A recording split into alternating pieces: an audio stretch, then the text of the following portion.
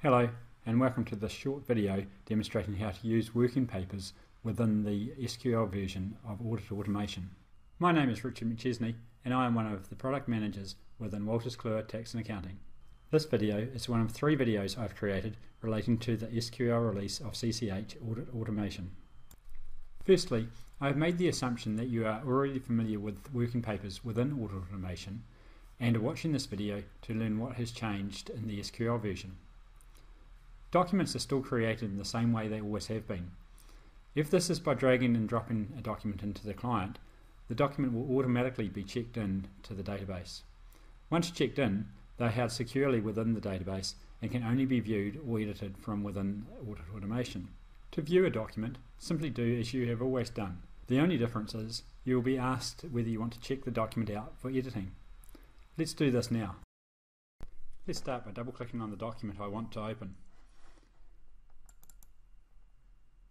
I see a message here asking if I want to open the document in read-only mode or whether I want to open it so that it can be checked out. If I click no, the document will open in read-only mode as shown at the top of the screen here. If I close that, and then if I do it again, and this time if I click yes, the document will be checked out meaning that no one else can edit it while I have it open. Alternatively, I can right click on the document, select check out, and this effectively reserves the document against my name for editing purposes.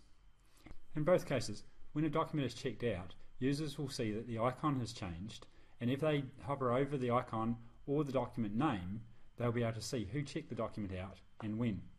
When I'm finished editing the document, after saving it, to check the document back in, I will right click on the document name again and select check in. Also, because I'm logged on as the system manager, I have the option to undo a checkout.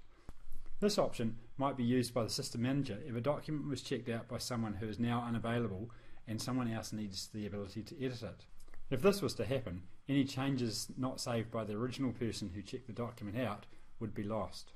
Another thing worth noting is if I go to the user created documents, I will see down the bottom here I have three new buttons, Checkout, Undo Checkout for the System Manager, and Check In. These buttons work in the same manner as the right click options I've just shown you. Also, while a document is checked out, other users can still open the document as a read-only, but it will not be up to date if the editing user has not checked in his or her changes. Now let's repeat the checkout process but this time I'm going to open a spreadsheet that I know contains links to other documents that are also saved as working papers within Audit Automation. In this instance, I'm going to click yes to say that I want to edit the document and I'm asked whether I want to download documents that are linked via hyperlink. If I check the box and click OK,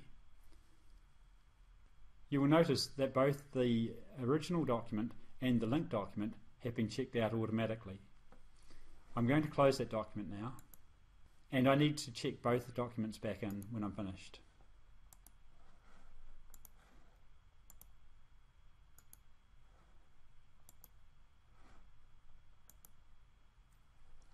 If I open the document this time and click yes again, But this time I do not check the checkbox and just hit OK. You will notice that the document I've just opened is checked out, but the linked document is not. Now let's repeat the process. So I double click on this spreadsheet. And this time I'm going to say no when I'm prompted as to whether I want to open it for editing purposes or not. And you'll see this screen display. If I just click OK, what you find is that the spreadsheet is opened for read-only purposes as displayed at the top here, but most importantly, the hyperlink here doesn't work.